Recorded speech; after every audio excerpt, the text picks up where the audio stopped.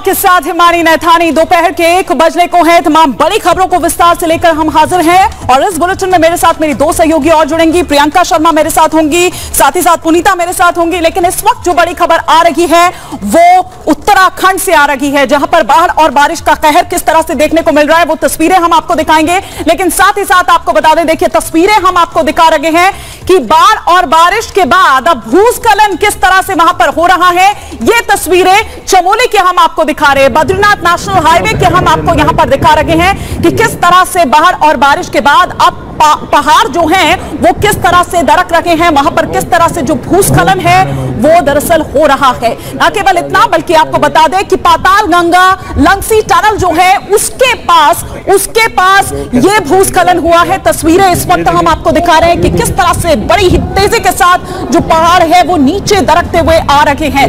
लगातार लगातार इन पहाड़ों से मिट्टी गिर रही है और अब तीन अलग अलग तस्वीरें हम आपको दिखा रहे हैं जो उत्तराखंड से ही निकलकर आ रही है और तीन अलग अलग कैमरा की निगाह से हम आपको दिखा रहे हैं। बद्रीनाथ की तस्वीरें आप देख रहे हैं जोशीमठ की तस्वीरें आप देख रहे हैं। ये, ये पूरा जो रूट है उसकी अलग अलग तस्वीरें हम आपको तीन कैमरा की निगाह से दिखा रहे हैं कि किस तरह से वहाँ पर और देखिए उस वक्त वहाँ से लोग गुजर रहे थे। पहली तस्वीर में अगर आप देखें तो उस वक्त वहाँ पर अचानक से एकदम आप देखिए कि किस तरह की अफरा तफरी मच जाती है, क्योंकि ज़बरदस्त तरीके से पूरा पहाड़ जो है वो नीचे दरकता हुआ आ जाता है।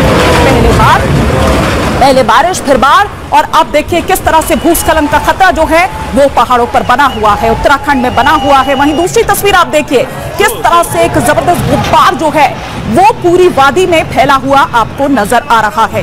तीसरे कैमरे की निगाह से आप देखिए कि वहाँ जोशीमठ की अगर हम बात करें नेशनल हाईवे की अगर हम बात करें तो वहाँ पर लगातार ये पहाड़, ये भूस्खलन जो है, वो वहाँ पर हो रहा है। एक चुनौती ज़ाहिर तौर पर यहाँ पर ये बना हुआ है कि मनिमत रहे कि उस वक्त वहाँ से कोई गुजर नहीं रहा था।